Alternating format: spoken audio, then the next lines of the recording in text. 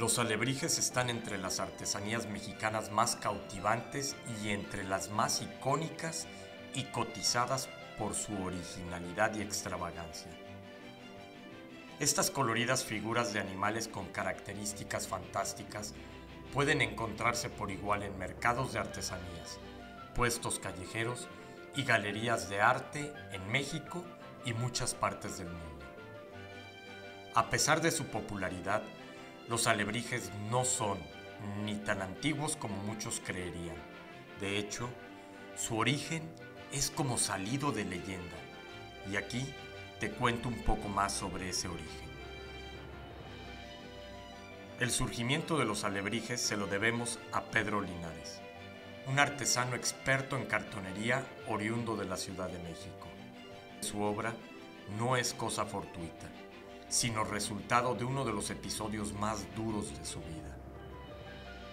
Como lamentablemente ocurre con muchos artesanos mexicanos, don Pedro se las veía duras para sostenerse económicamente con su oficio. Para su mala fortuna a los 30 años, por ahí de 1936, contrajo una enfermedad que lo mantuvo postrado y al borde de la muerte. Y por no contar con la posibilidad económica para recibir atención médica especializada, todo se complicó. Las cosas parecían perdidas para don Pedro y su familia y a pesar de todos los cuidados que recibía, el final de sus días parecía estar muy cerca. Mientras la familia se preparaba para lo peor, don Pedro se hundió en un sueño muy profundo. Hay quienes incluso dicen que estuvo muerto por algún tiempo, despertando justo en medio de su propio velorio. Fue en ese momento que la suerte dio un vuelco la salud regresó al cuerpo del artesano, trayendo también la idea que lo haría famoso en México y el mundo entero. Don Pedro Linares describió que durante su inconsciencia tuvo la sensación de haber estado en un bosque tranquilo atravesado por veredas rocosas y maravillosos paisajes y arroyos, donde frecuentemente escuchaba ruidos extraños. Al buscar el origen de aquellos sonidos, aparecieron frente a él criaturas extraordinarias que repetían incesantemente una misma palabra. Alebrije, alebrije, alebrije, alebrije. Don Pedro asegura haber visto un burro con alas y un gallo con cuernos de toro. En ese mismo sueño, se le apareció un hombre que le indicó la salida de aquel mundo fantástico, argumentando que aún no era su momento para estar ahí.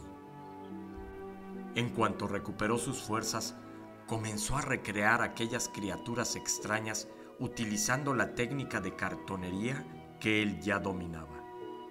A estas nuevas esculturas les puso el nombre de alebrijes, tal como recordaba haberlos escuchado mientras su alma vagaba por el mundo del subconsciente.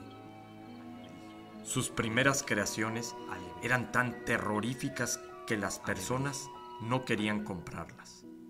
Algunas de estas primeras piezas las compraron Diego Rivera y Frida Kahlo. Se volvieron seguidores de su trabajo y mecenas, y no dejaron de solicitarle este tipo de trabajos a Pedro Linares. Revolucionando la cartonería y el arte popular, el alebrije es junto con el arte huichol una de las manifestaciones de arte popular más famosas en México. Paradigmas del arte surrealista mexicano. De esta manera fue como se materializaron los alebrijes en nuestro mundo a mediados del siglo XX. Poco tiempo después, esta artesanía alcanzó una popularidad inusitada que llevó a Pedro Linares a exponer sus obras en diferentes partes del mundo. En 1990 le fue otorgado el Premio Nacional de Ciencias y Arte. Dos años más tarde, don Pedro, escuchando de nuevo el llamado, regresó definitivamente a la fabulosa tierra de sus amados alebrijes, falleciendo a los 82 años de edad. Los alebrijes son criaturas híbridas conformadas por elementos fisionómicos de diferentes animales, es decir, una combinación de varios animales en uno solo.